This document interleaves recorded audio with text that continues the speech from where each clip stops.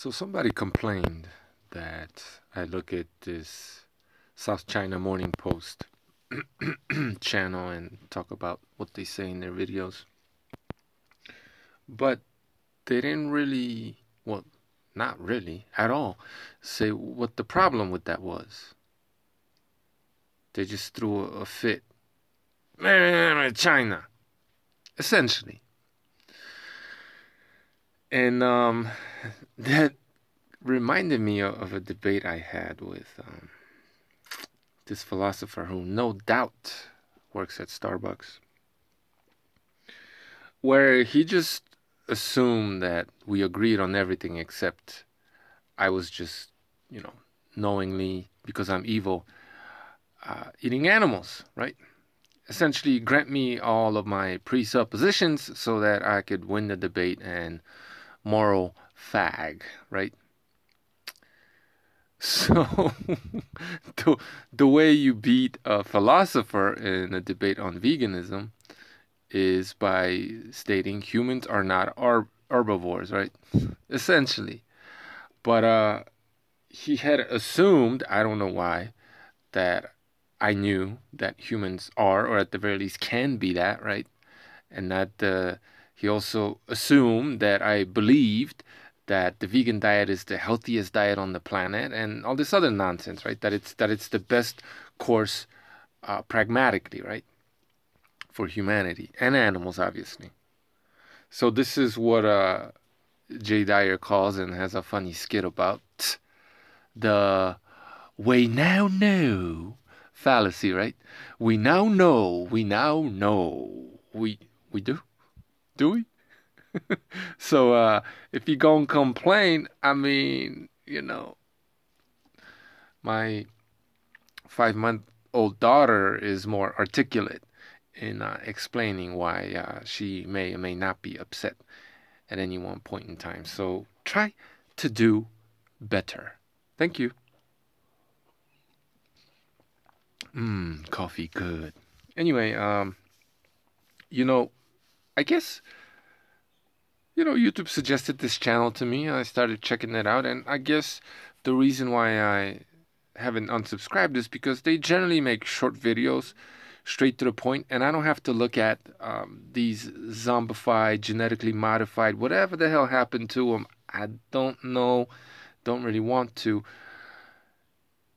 TV, American especially, Western TV talking heads. You hardly ever get any talking heads here, right?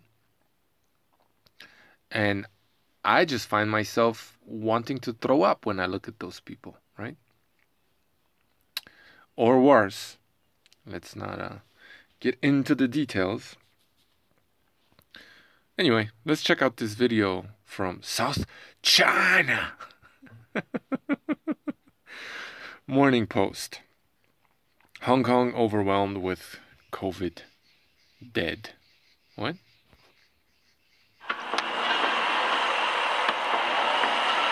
So the hospitals in Hong Kong are once again overwhelmed, yeah?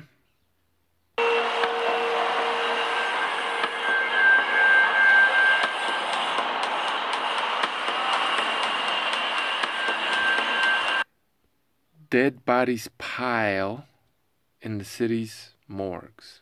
That's what morgues are for, right?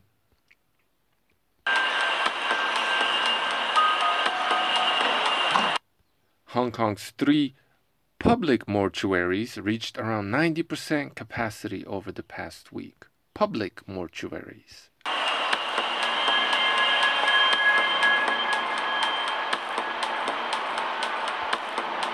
So the corpses are, I guess, overflowing and they're being stored where they're not usually being stored. Or are they? Well, we don't know, do we? Right? If what's the not the new normal, but what's the normal for Hong Kong this time of year? What is it? Ah, who cares?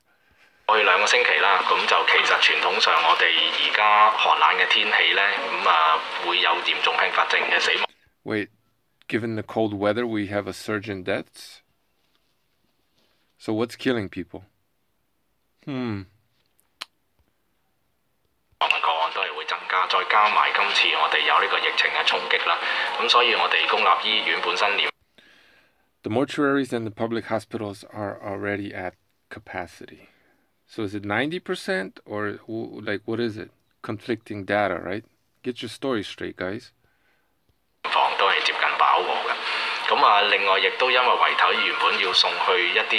Also, this is very important because of the legal procedures involved.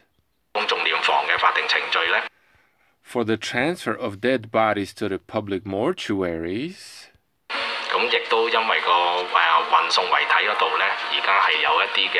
There is some delay and therefore there is pressure, right? So bureaucracy is the problem. Okay, good to know. 阻滯啦，令到就變咗可能有一啲嘅壓力喺當中啊。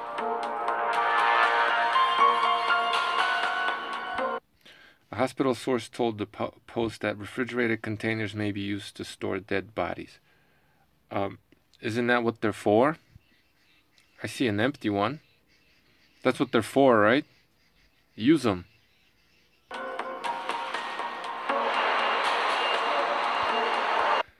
Here we go. This is the same model uh, that was used in Guayaquil here in Ecuador to quote, quote unquote overflow the hospitals.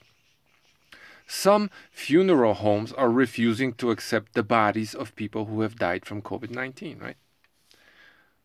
Well, no wonder you scare the shit out of everybody about this super deadly disease. Well, no wonder they're not receiving these bodies, right? And not, and because of that and bureaucracy, and the fact that this time of year people tend to die more than usual, you have all these bottlenecks.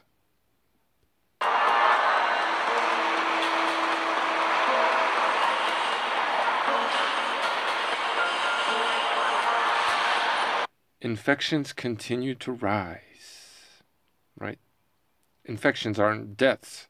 How good are these tests, right? We know how good they are.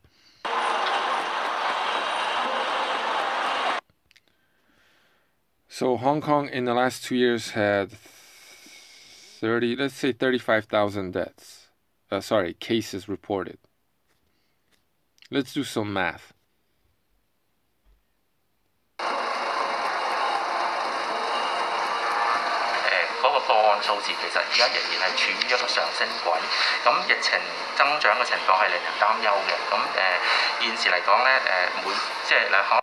Predictions, right?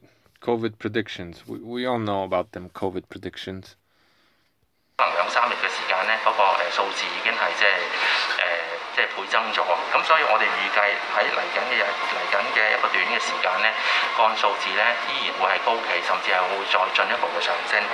We believe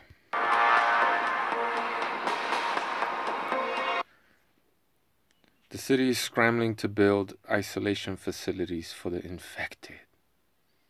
Hmm. Okay.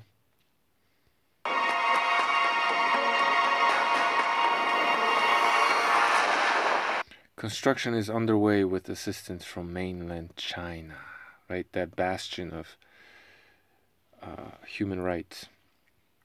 So, presumably, they're going to put, you know, the asymptomatic infected in there, right?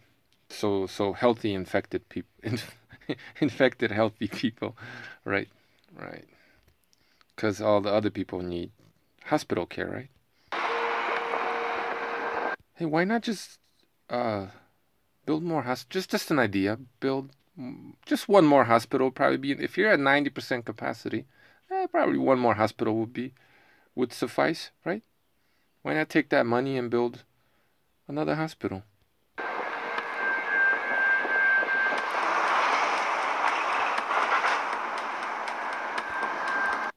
isolation facility, right? With bars on the windows. Uh, looks like a prison. Right? That, that's what it is. Detention center.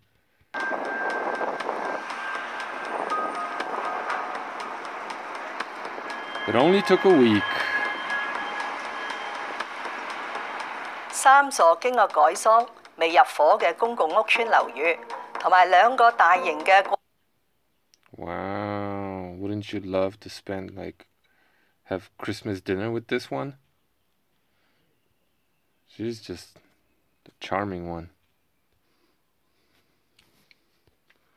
過渡性房屋項目、租用商業酒店，同埋喺八個地點以及落馬洲河套區建設嘅社區隔離。Okay, so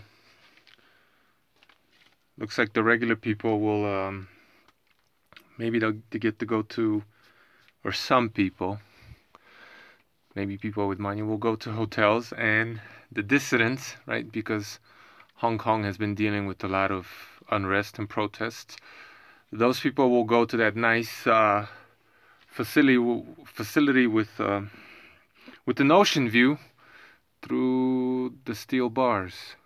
及治疗设施会陆续投入服务， 估计总数可以超过七万个单位或者系床位。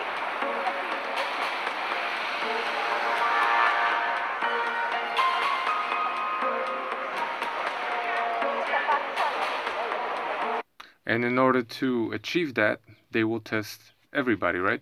Compulsory COVID 19 testing drive.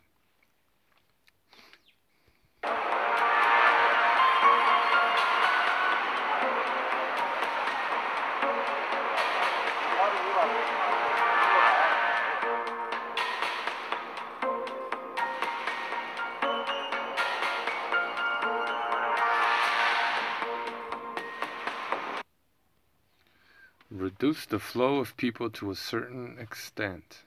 Mm. Here we go.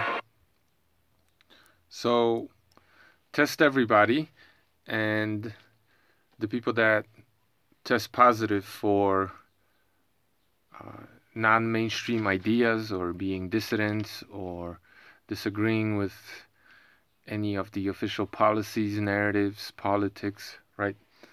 Uh, they're gonna go behind bars essentially, and that's what this is. Okay, so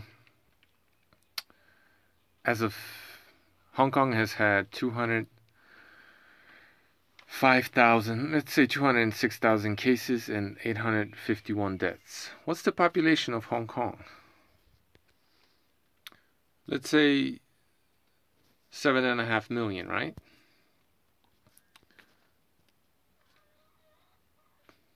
Two hundred.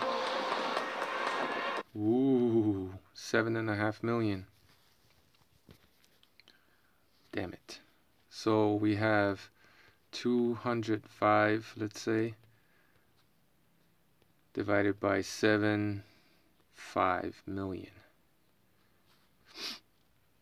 So in two years, almost 3% of Hong Kong's population got sick, right? Only 3%. How many deaths?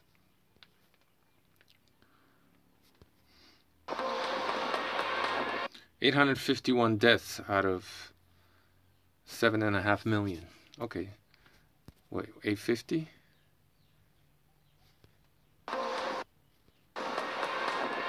Eight fifty-one. 851 divided by seven and a half million.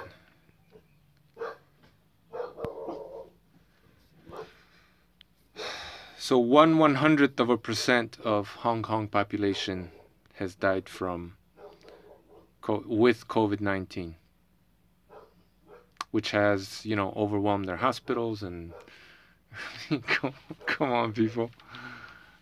Really? Really? We That's my video, man. Thanks for watching.